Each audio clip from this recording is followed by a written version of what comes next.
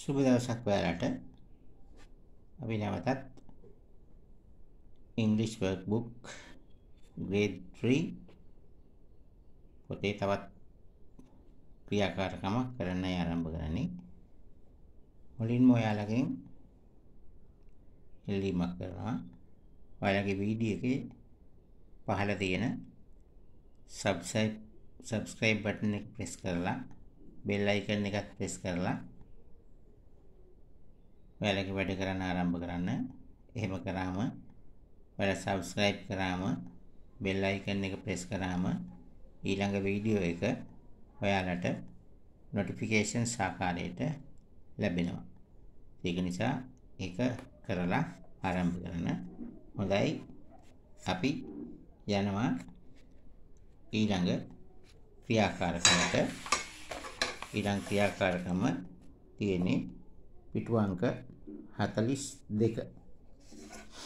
පිටු අංක 42ට ගියාම ඔයාලට මෙන්න මෙහෙම එකක් තියෙනවා. days copy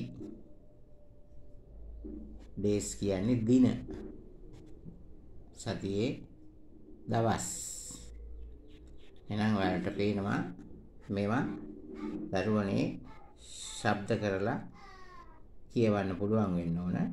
ඒ වගේම ඒ දිනවල ඒ දවස්වල ස්පෙලිංස් ඔයාලගේ මතකයේ තියෙන්න ඕන. Monday Tuesday Wednesday Thursday Friday Saturday Sunday. Again Monday Tuesday Wednesday Thursday Friday Saturday Sunday මේ ඉදිරියෙන් දීලා තියෙන ඉඩේ ඔයාලා මේ වචන ටික කොපි කරන්න. කොපි කරාම ඔයාලට හුරු වෙනවා ඒ වචනවල ස්පෙලිංස් වලට. වටක් දන්නේ නැතුව නිවැරදිව කරන්න හොඳ දරුවෝ වගේ අවධානයට යොමු කරන්න සෑම වචනයක්ම ආරම්භ කරලා තියෙන්නේ කැපිටල් අකුරකින්. M capital, T capital, W capital, T capital, F capital, S capital, S capital. අනිත් සියලුම අකුරු සිම්පල් අකුරු. හොඳයි. නිවැරදිව කොපි කිරීම සිදු කරන්න. ඔයාලගේ පොතේ ඔයාලා තාම කරලා නැතිව ඇති කියලා හිතනවා. හොඳයි. අපි ළඟට පල්ලෙහාට යමු. පල්ලෙහා තියෙන්නේ find the hidden word. සොයන්නලු සැඟවුණු වචනය. එතනනේ සැඟවුණු වචනය කියලා කියන්නේ මෙතන. මෙතන තියෙන්නේ සති එකට දවස් 7ක් තියෙනවනේ. ඒ දවස් 7න් ඔයාලා පාසල් යන දවස් පහේ නම් ටික තමයි මෙතෙන් තියෙන්නේ. එහෙනම් පාසල් යන දවස් පහ කියලා කියන්නේ දැන් මෙතන අකුරු මාරු කරලා තියෙන්නේ. ඒ අකුරු මාරු කරපුවා නිවැරදි කරලා ඔයාලට මෙතනින් ලියන්න තියෙන්නේ. ඉතින් හරිම ලෙහෙසි මේක දිහා බලන්න. මෙතන තියෙන අකුරු ටික බලන්න.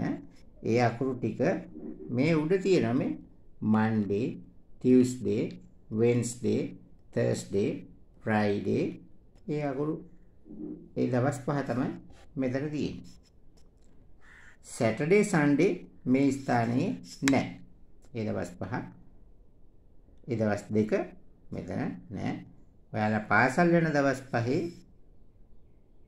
දවස් තමයි මේ තියෙන්නේ. ඒ ටික නිවැරදි කරලා මෙතන ලියන්න. ඒ වගේම ඔයාලට කියන්න ඕන මේ දවස් 7 ඔයාලගේ writing exercise book එකට අරගන්න ඕන. කියන්නේ ඔයාලා ලියන අභ්‍යාස පොතට අරගන්න අරගෙන Monday කියන වචනය පිටුවකට ගන්න පිටුව පුරාම මේ වචනේ ලියන්න. Tuesday කියන එකක් ගන්න. දවස් 7ම ඔයාලා හැම පිටුවට එක පිටුවකට එක වචන භාගින් අරන් ලියන්න. එහෙම කරොත් ඔයාලට මේ වචනේ ස්පෙලිං කටපාඩම් වේවි. එහෙම කළ කරන අයට විභාග ප්‍රශ්න පත්‍ර පහසුවෙන්ම කරගන්න පුළුවන් වෙනවා. ඉතින් මේවා බොහෝ දුරට ප්‍රශ්න පත්‍රයේ ප්‍රශ්න බවට දෙන අවස්ථා තියෙනවා. හොඳට සූදානම් වෙලා ඉන්න ආරම්භ කරාම ඔයාලට හොඳට කටපාඩම් වෙනවා. තව එකක් තමයි ඔයාලා මේක අරගෙන අධ්‍යයනය කරලා ඊට පස්සේ කැලෙන්ඩරයක් අරගෙන බලන්න කැලෙන්ඩරෙත් මේ වචන ටික තියෙනවා කියලා. සමහර කැලෙන්ඩර් වල භාගයට වචන දෙන්න පුළුවන්. සමහරක ඒවායි සම්පූර්ණව දෙනවා. සම්පූර්ණව වචන දෙන කැලෙන්ඩරයක් අරගෙන බලන්න. දිනපොත් වලත් තියෙනවා. දිනපොත් වලත් පුතාලට මේ වචන ටික දවස් 7 වචන ටික අධ්‍යයනය කරන්න පුළුවන්. වැදගත් වෙන්නේ ඔයාලගේ මතකයේ තියෙන්න ඕන ස්පෙලිං මතකයට එන්න ඕන නම කියනකොට. මන්ඩේ කිව්වම M O N D A Y. Tuesday T U E S D A Y. Wednesday W E D N E S D A Y. Thursday T H U R S D A Y. Friday F R I D A Y. Saturday S A T U R D A Y Sunday S U N D A Y ඉතින් මේ පුතාලා dictation හැටියට මේක පාඩම් කරලා අම්මට හරි තාත්තට හරි කියන්න ඔයාලට ඒක කියවන්න කියලා. කියවුවම ඔයාලට පුළුවන් ලියන්න. ඒ ආකාරයට පුහුණු වීම කරන්න. එහෙම වැඩ කරන දරුවෝ සෑම වෙලාවකම දිනනවා. එහෙනම් දිනන නම් කැප වෙලා වැඩ කරන්න ඕන. right.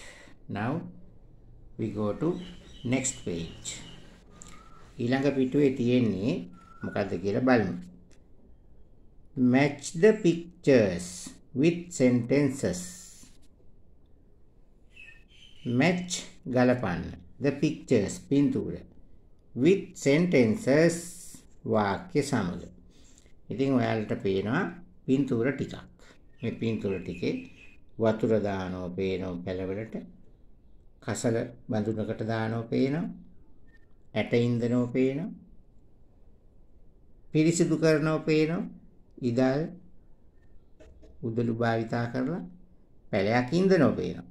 එහෙනම් මේ කරන ක්‍රියාකාරකම් ටික දරුවනේ පල්ලෙහා වාක්‍ය වලින් දීලා තියෙනවා. ආන්නේ වාක්‍ය ඉදිරියෙන් මෙන්න මේ පින්තූරයට අදාළ අංකය යොදන්නයි තියෙන්නේ.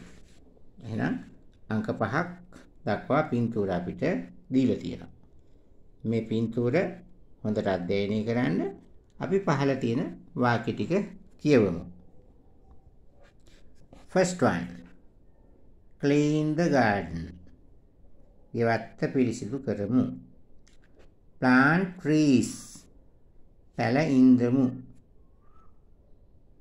Water the plants. පැල වලට වතුර දාමු. put litter into bin. කසල බඳුනට කසල දමමු. Plant seeds ඇට ඉන්දමු. එහෙනම් බීජ ඉන්දමු. ඇට එහෙම නැත්නම් බීජ අපි වචන දෙකම නිවැරදි වචනේ ලියනකොට බීජ කියන වචනේ භාවිතා කරන්නේ. ඔයාලා බීජ කියලා කිව්වට පස්සේ අපි දැන් අපි හිතමු අඹ ගෙඩියක් කෑවම ඒකේ බීජයක් තියෙනවා. ඒක ඉන්දුවම අපිට අලුතෙන් පැලයක් ලබා ගන්න පුළුවන්. එහෙනම් ඒ සඳහා තමයි අපි පැල ඉන්දන්නේ. හොඳයි. බලමු අපි එහෙනම් clean the garden. Number 1. You have to put here number 1. Plant trees. පැල ඉන්දමු. Plant trees. number 4 here you can put number 4 water the plants පැලවලට වතුර දාමු that is number 3 number 3 next one put litter into the bin කසල බඳුනට කසල දමමු. That is number 5. Plant seeds. බීජ ඉන්දමු. Plant seeds. බීජයක් ඉන්දනවා. That is number 2. You have to put here number 2. මෙන්න මේ ආකාරයට ඔයාලා අංක ටික යොදලා තියෙනවා නම් නිවැරදි. ඔයාලා නිවැරදිව අංක යොදලා නැත්නම් නැවත අංක යොදන්න නිවැරදිව විශේෂයෙන් මේ ටික ඔයාලා කියවන්න. නැවත වතාවක් කියවනවා. clean the garden ගෙවත්ත පිරිසිදු කරමු. plant trees පැල ඉඳමු. water the plants පැල වලට වතුර දමමු. put litter into the bin කසල බඳුනට කසල දමමු. Plant seeds බීජ ඉන්දමු. එහෙනම් මම හිතනවා ඔයාලා මේ ක්‍රියාකාරකමත් නිවැරදිව කරන්න ඇති කියලා. මේ වතාවේ ක්‍රියාකාරකම් තුනක් ඔයාලට මේ වීඩියෝ එකෙන් ලැබුණා. ඉතින් මේ තුනම නිවැරදිව කරන්න. ඒ වගේම subscribe කරන්න bell icon එක press කරන්න. එතකොට ඔයාලට ඊළඟ වීඩියෝ එක ලැබේවි notification ආකාරයට ඔයාලගේ දුරකථනයට. ස්තුතියි හොඳට වැඩ කරන්න අපි ඊළඟ වීඩියෝ එකෙන් මුණ ගැහෙමු.